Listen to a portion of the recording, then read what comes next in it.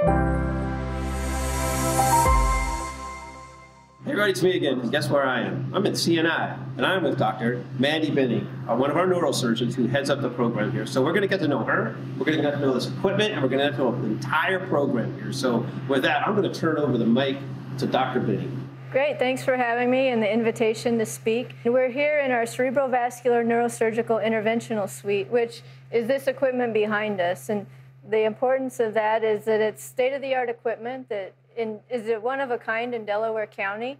And it's really the epicenter of our comprehensive stroke center, which um, Crozer has just received that designation this year and is the only CSC in Delaware County. Now, that's a very unique um, designation. I think there are less than 200 in the entire country.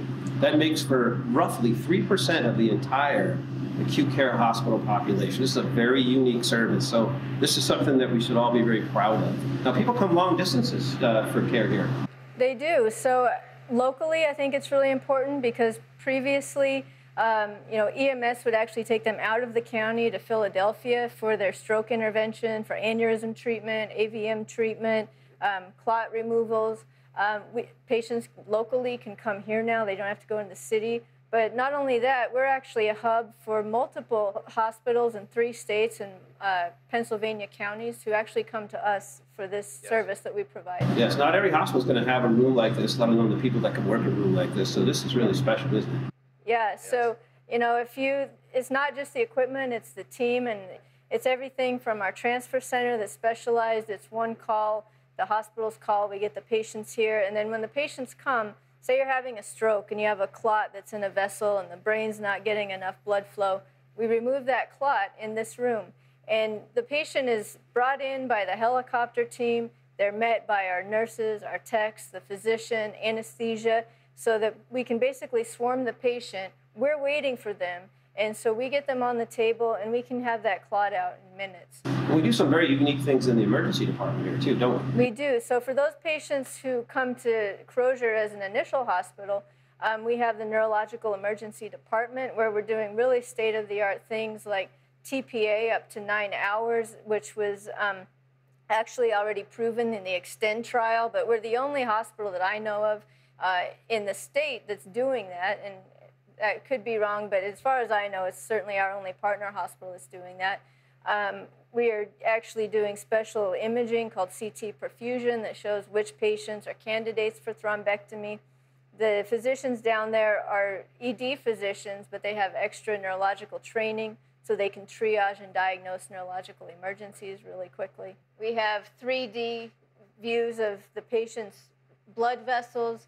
This is called biplane angiogram, so we can look from anterior, posterior, and laterally so that we can get a 3D picture in our head of where we're navigating when we're doing the procedure.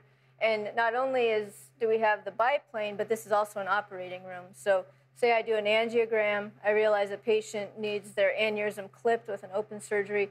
We just turn the swivel the table. We have all our equipment here, and I can clip, open the head, clip the aneurysm, swivel back to do the angiogram to make sure it's cured, right. and you know, close the head, without all in this room, without moving.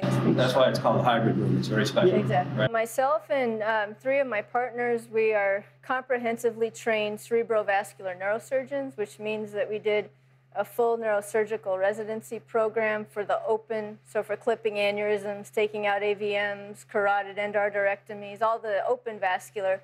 But on top of that, we did an additional uh, training, a fellowship for endovascular and cerebrovascular neurosurgery, where we can do minimally invasive techniques through the groin, through the wrist, through carotid puncture, such as stenting, coiling, gluing. So we, we can do it all. State of the art. State of the art. This is as good as it gets anywhere on the planet. Anywhere. And when they leave here, they go to a specialized intensive care unit, right? That's exactly right. So we have a closed neurosurgical or neurological ICU. That's an, a unit where the patients are in a very um, in a very specialized place. So the nurses have neuro training, they're used to taking care of the neuro patients. The intensivists, we're the intensivists, so we're doing all the critical care on those patients. So we make sure that all of their neurological needs are met, but as well as you know all their systems. We're we're taking care of the whole patient there, and then when they leave the unit, they're actually going to a specialized neuroscience unit when they're ready to step down as well. One nice thing that we always do is we always try to get those patients back to their community for therapy or rehab. And then our group actually has outpatient offices in all of these places. So the patients don't have to come back here to be seen for their follow ups. We'll go to, you know, uh, Bucks County, we'll go to New Jersey, you know, wherever we have outpatient offices, we'll see the patients there. This is very exciting. You know, we for the last few years we've been working awfully closely with Global Neurosciences Institute, otherwise known as GNI. We promote ourselves together. We do things together. We develop the program. And when they came in to survey us, right, not long ago, the Joint Commission came in here and said they were astounded to see how quickly we did this much in such a short period of time. To become comprehensive stroke takes a lot of health systems five, six, seven years. We did it in two. Yeah, that's wonderful. That's because of people like you and this team of really motivated people behind the glass here. I really have to do a shout out for them. God bless them. I normally close with um, Be Well, Do Good. Delco is counting on you. This week I'm going to change it up. Because patients come from such long distances, the right thing to say at this moment is Be Well, Do Good. The entire Delaware Valley is counting on us. Nice one. Okay. Thank you. Thanks for having me.